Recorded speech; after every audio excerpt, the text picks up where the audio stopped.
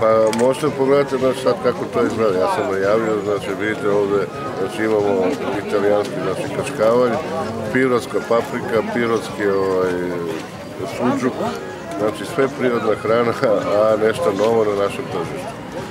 Nisto, ovo je znači italijanski, znači sir cavallo, znači kačkavalj faktički italijanski, ono je tog oblika kao što je tu.